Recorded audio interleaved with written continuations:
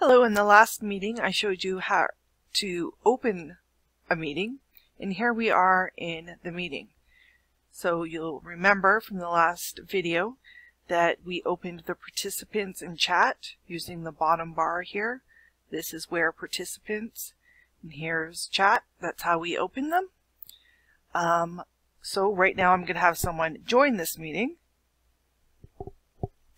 So this is someone else who wants to join our meeting or church service or book club or whatever. And you'll see them. There they are. One person is waiting. And we are going to admit them. There they are. And there's my dining room ceiling. Isn't it exciting? Anyways, so there's a participant there as an example. I wiggle my mouse around. There's more.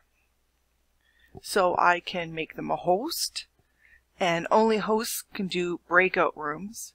I can make them a co-host, which will be able to do everything, including sharing slides. I could rename them. So in this case,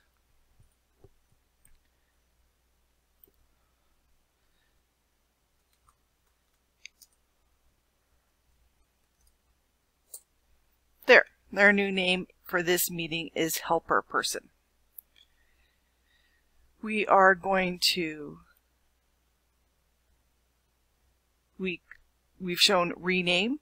I can put them back in the waiting room for whatever reason. They're, they're back in the waiting room. So now I could admit or remove them.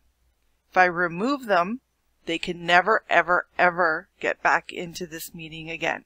So this is only to be used for people that are quite disruptive. So I'm going to admit them back into our, our meeting. And here they are. Did you hear a chime? If you want to hear a chime when people come and go, you select play, enter, exit, chime, and you will hear when people are coming and going, which is helpful at the very beginning when you're waiting for people to join and seeing who's coming or going and seeing if you recognize everyone that's coming in. During the service, you definitely want to have it off because we don't want to hear a chime all the time.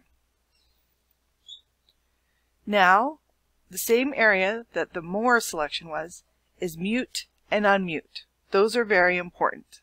People will unmute themselves in inappropriate times and you need to mute them again. Unmute, mute. It's very simple. And at the beginning of the service, you would click mute all and that will mute everyone. And then the speakers that will want to be doing presentations, etc., will have to unmute themselves. Um, you can also use this more feature to remove someone. But again, if you remove someone from the meeting, they are permanently removed and can never come back in. Really, the only things that people have ever had to use so far is mute and unmute, and then sharing host and co-host. If you start off as the host, you may pass that on to somebody else or make so, you'll want to make other people co-hosts, the people that are running the Sunday service or people that want to record the meeting or people that want to share slides.